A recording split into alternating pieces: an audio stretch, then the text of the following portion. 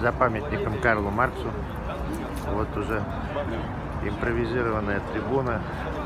Руководители Коммунистической партии Российской Федерации собираются. Районные руководители знамена. Большое количество представителей прессы собралось уже с ведущих телеканалов.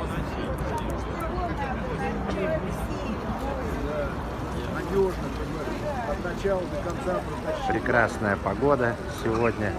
Фонтаны уже заработали. Красные флаги со всех сторон. Праздничная атмосфера. Нам